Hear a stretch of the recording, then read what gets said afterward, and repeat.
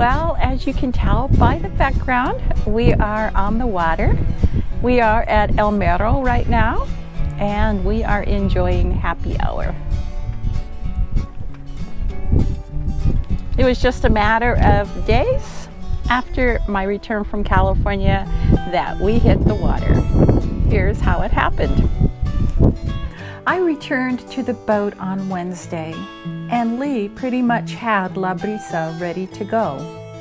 There were just a few more items to finish when our acquaintance Francisco pointed out that Carnival would be on the upcoming weekend, and anchoring out in front of the Malecon would give us great access to all the activities.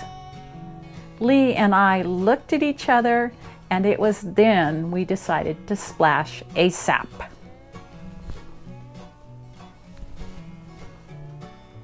After having lived in the yard for more than a year, actually leaving was a time of mixed feelings for me. On one hand, there was the excitement of furthering our dream, the allure of the open road, so to speak. On the other hand, I was leaving behind a beloved neighborhood, friends with whom we had forged deep ties, and rituals like going for caramelos in our colonia every Saturday evening.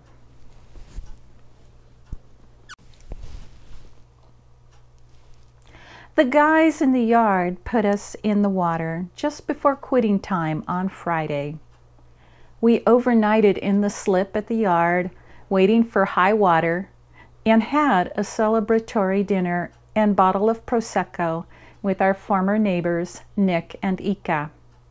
With the Prosecco, we also christened and toasted the boat as she begins a new chapter in her life as La Brisa.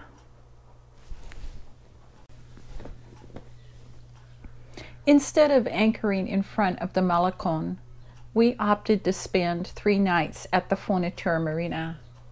One of our reasons for staying at the marina was ease of access to the festivities and for walking Blondie. We still haven't gotten our dinghy situation in order. That was one of the projects we put off in order to splash ASAP. The marina still bears evidence of damage from Hurricane Newton in 2016. Several boats sank as the finger piers tore apart. There is currently a dredging operation to increase the depth. One can see how our passage stirred up the bottom mud.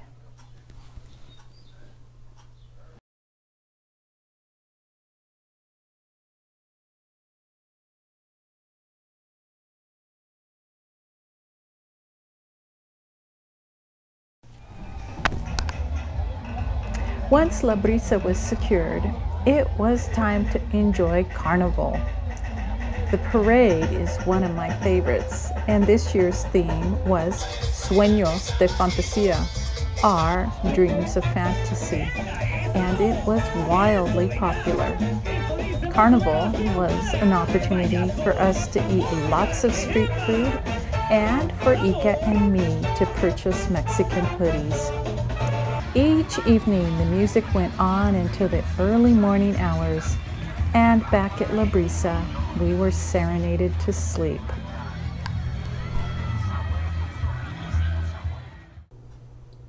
On Tuesday, as Carnival wound down, we headed out to El Mero, which is also known as the Almost Free Docks. Ken and Edith and their two girls, Zoe and Naomi, we're at El Mero with their newly painted and renamed boat, Alondra. This season, they will be heading to the South Pacific. They have some YouTube videos as Biology Family Afloat, and Nick, whose fantastic aerial footage appears in the first part of this video, was going to film their departure on Valentine's Day with his DJI Mavic drone. While Nick was getting footage of the area around El Mero, and even though the controller indicated the drone was seven meters above the sea surface, the drone crashed into the water. Ken donned his wetsuit and dove at the GPS location indicated on the console. In spite of several dives, he was unable to retrieve the drone. There was nothing for it but to delay the departure and have a party featuring an amazing goat curry and plenty of gin.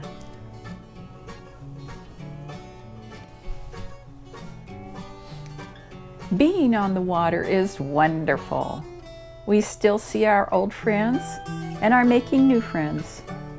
One thing I have found difficult so far is making and publishing videos. With no internet, our cell signal at El Mero, we see how dependent we are on the internet for information and to keep in touch.